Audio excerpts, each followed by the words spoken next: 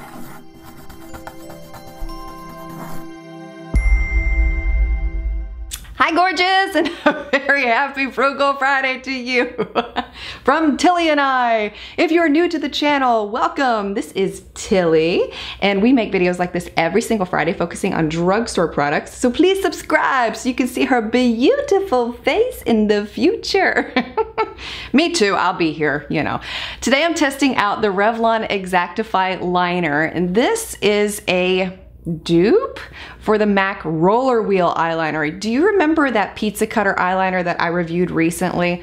I said in that video, wait, there's gonna be a drugstore company that's gonna come out and dupe this eyeliner. Just wait. Well, Revlon has done it, but I really wanted to test it out to see if they did dupe it accurately or if there is some qualities that are missing. So in today's video, I'll show you an application demonstration. I've also included a wear test and I'll let you know. Is the Revlon one worth checking out or should you stick with MAC? Before I show you the application with the Revlon Exactify, I'll do a side-by-side -side comparison here with the MAC Roller Wheel Liner. I'm telling you, somebody must have leaked some information from MAC to Revlon because they are dead on looking when you compare them side by side. Packaging is identical. Look at that. And Estee Lauder, the company that owns MAC, does not own Revlon because sometimes you'll see a high-end brand come out with a dupe in the drugstore and it's usually because that high-end brand owns a drugstore brand. So they're very sneaky like that. But that's not the case here because Revlon is not owned by Estee Lauder. And this is what they look like side by side. Revlon over here, MAC over here. Identical between the two. So I'll also do a demonstration on the back of my hand. This is the Revlon roller wheel, which is not as pigmented as I thought it was going to be when it went on. But I have another color here. I also got the black one. This is in the shade Mermaid Blue, by the way.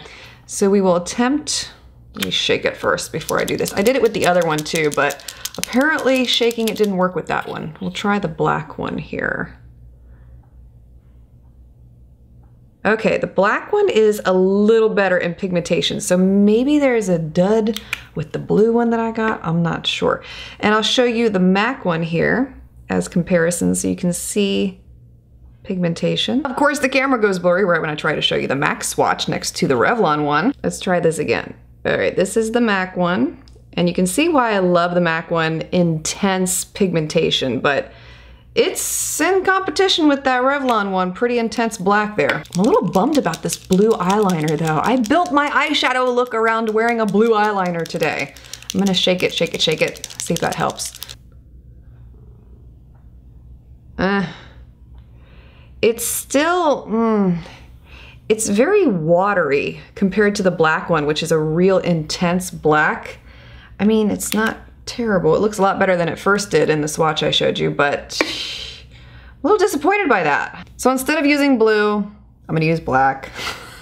Sorry to be so boring. I was trying to do something different, but it didn't work out so well. What I will tell you is that the roller wheel design takes a little bit of practice, and I've used the MAC one enough to get enough practice in with it to where I feel very comfortable using a roller wheel to apply my eyeliner now. So it may look easy when I do it, but just keep in mind that I've been using the MAC one for several weeks now.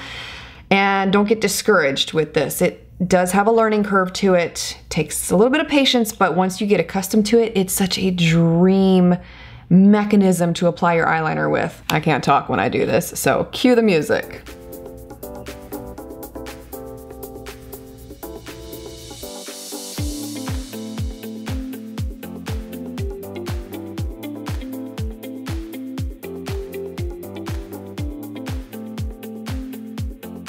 Holy pigmentation. Talk about a rich, intense black line with the Revlon Exactify liquid liner. Compared to the MAC roller wheel formula, it's not a matte finish. It's a little shinier, it's not completely terrible, and it does take a little longer to dry compared to the MAC roller wheel liner. Depending on your preference, you may like that, you may hate it.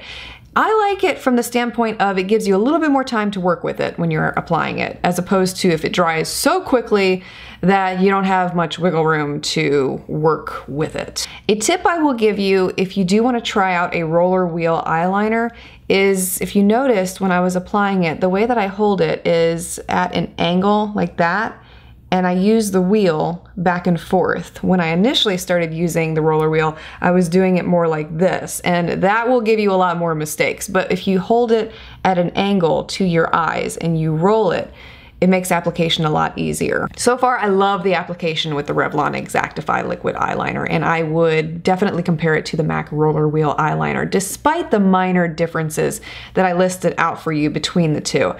Now, it's remained to be seen how this wears throughout the day and how easy or how difficult it is to remove, but I will give you an update on those two qualities in about five seconds. Well, here's the thing. The day that I was testing this eyeliner, I was completely complacent. When I went to go take my makeup off that night, I took my lashes off like normal, almost washed my face, and then I thought, woohoo, wait a minute, I'm doing a wear test today we have a guest. So thankfully, I stopped myself, went to go record the check-in, and fortunately, only one of my eyes got some of the eyeliner ripped off from taking the lash off. So that's what you're seeing in the up-close example here after 10 hours of wearing this eyeliner. But on my one eye, it did remain intact. And I do have to tell you that this eyeliner did not smudge, flake, transfer, or move at all during the whole 10 hours that I was wearing it. Now, is the Revlon Exactify liner an exact dupe for the MAC Roller Wheel? Uh, somewhat. It's not matte and finish like the MAC Roller Wheel, and it takes a little bit longer to dry, but if those two qualities don't really matter to you, then you would be thrilled with the Revlon Exactify liner. And I also want to mention that if the roller wheel, I love her, if the roller wheel eyeliner is a new concept for you and it's something you're not really comfortable with and you don't want to spend the $20 on the MAC one just to find out you don't like it, the Revlon one is a cheaper investment that you could practice with, find out if you do like it, if you do, then you could purchase the MAC one.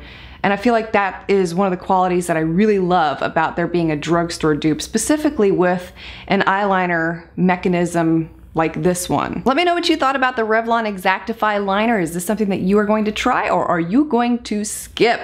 We want to thank you so much for taking the time to watch. Tilly and I wish you a wonderful weekend, don't we? And we will see you again next week. Maybe you'll be here, huh? she might.